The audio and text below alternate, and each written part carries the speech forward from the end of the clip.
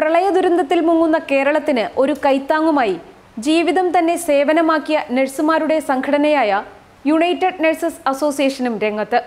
കാലവർഷക്കെടുതിയിൽ ദുരിതമനുഭവിക്കുന്നവർക്കായി U N എയും അവരുടേതായ സംഭാവന മുഖ്യമന്ത്രിയുടെ ദുരിതാശ്വാസ നിധിയിലേക്ക് നൽകുന്നു. കൂടാതെ നിരവധി സേവന പരിപാടികളും യു എൻ എയുടെ നേതൃത്വത്തിൽ ആസൂത്രണം ചെയ്തിട്ടുണ്ട്.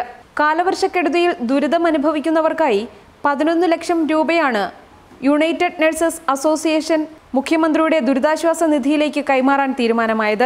സർക്കാർ ആവശ്യപ്പെടുന്ന മേഖലയിൽ നഴ്സുമാരുടെ സേവനവും ലഭ്യമാക്കും. നാളെ മുതൽ ആലപ്പുഴ പാലക്കാട് ഇടുക്കി വയനാട് മലപ്പുറം ജില്ലകളിലെ പ്രളയബാധിത പ്രദേശങ്ങളിൽ യു എൻ എയുടെ നേതൃത്വത്തിലുള്ള നഴ്സുമാർ സേവന സജ്ജരാകും. അരി പഞ്ചസാര പലവ്യഞ്ജനങ്ങൾ പുതപ്പ് വസ്ത്രങ്ങളടക്കം ദുരിതമനുഭവിക്കുന്നവർക്ക് നാളെ മുതൽ കൈമാറും.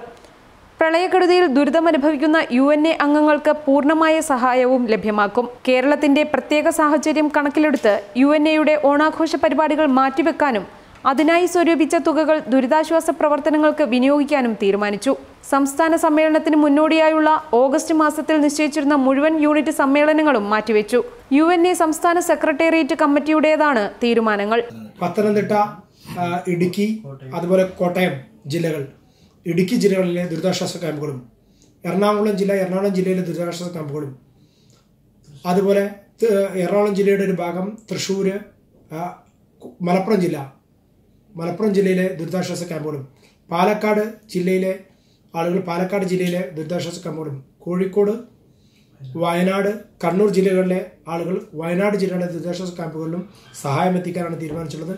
ഡോക്ടർമാരുടെയും ആ, നഴ്സുമാരും അടങ്ങിയ വിദഗ്ധ ടീമും ഈ ദുരിതാശ്വാസ ക്യാമ്പുകളിൽ സഹായിക്കാനുണ്ടാകും കെ വി എം സമരഭടന്മാർക്ക് നിലവിൽ നൽകിക്കൊണ്ടിരിക്കുന്ന പ്രതിദിന ബത്തയ്ക്ക് പുറമെ ഓണത്തിന് സമാശ്വാസമായി മൂവായിരം രൂപ വീതം ഓണത്തിന് മുൻപ് തന്നെ നൽകും. സ്വാതിമോൾക്കുള്ള വീടിന്റെ നിർമ്മാണം പുരോഗമിക്കുകയാണ്.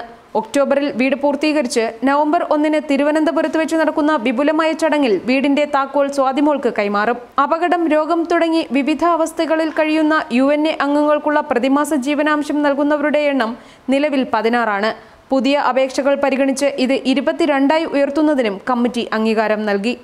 ന്യൂസ് ഡെസ്ക് മറുനാടൻ ടി